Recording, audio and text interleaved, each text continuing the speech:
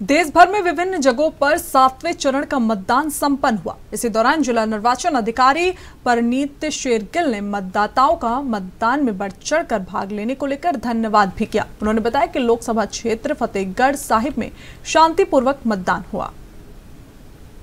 ਅੱਜ ਵੋਟਿੰਗ ਡੇ ਸੀਗਾ ਤੇ ਸਾਰੇ ਹੀ ਪਬਲਿਕ ਵੱਲੋਂ, ਪੂਰੇ ਫਤਿਹਗੜ੍ਹ ਸਾਹਿਬ ਦੇ ਰੈਜ਼ੀਡੈਂਟਸ ਵੱਲੋਂ ਬਹੁਤ ਅੱਛਾ ਸਾਥ ਦਿੱਤਾ ਗਿਆ ਹੈ। ਕਿਸੇ ਵੀ ਤਰ੍ਹਾਂ ਦੀ ਕੋਈ ਸ਼ਿਕਾਇਤ ਸਾਡੇ ਕੋਲ ਪ੍ਰਾਪਤ ਨਹੀਂ ਹੋਈ, ਨਾ ਹੀ ਕੋਈ ਲੜਾਈ ਝਗੜਾ ਹੋਇਆ ਬਹੁਤ ਸ਼ਾਂਤਮਈ ਤਰੀਕੇ ਨਾਲ ਸਭ ਨੇ ਕੋਆਪਰੇਟ ਕਰਕੇ ਤੇ ਅੱਛੇ ਤਰੀਕੇ ਨਾਲ ਪਾਰਟਿਸਿਪੇਟ ਕੀਤਾ ਸੋ ਸਾਨੂੰ ਉਮੀਦ ਹੈ ਕਿ ਜਦੋਂ ਹੁਣ ਸਾਡੇ ਨੰਬਰਸ ਆਨੇ ਸ਼ੁਰੂ ਹੋਣਗੇ, ਤੇ ਸਾਡੀ VOTING ਪਰਸੈਂਟੇਜ ਵੀ ਸਟੇਟ ਦੀ ਐਵਰੇਜ ਤੋਂ ਉੱਪਰ ਹੋਏਗੀ। ਸਭ ਦਾ ਧੰਨਵਾਦ ਕੀਤਾ।